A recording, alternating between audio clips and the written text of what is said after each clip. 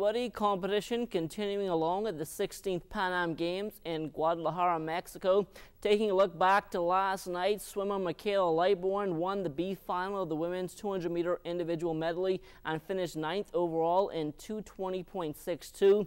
As for today, Ariel Weiss, she was the lone Bahamian in the pool in the prelims of the women's 100 meter freestyle. Swimming in heat 103, lane number two, Weiss touched the wall fourth in 57.97. That was good enough for 11th overall and it allowed Weiss to move on to the B final later on tonight where she will swim out of lane number five.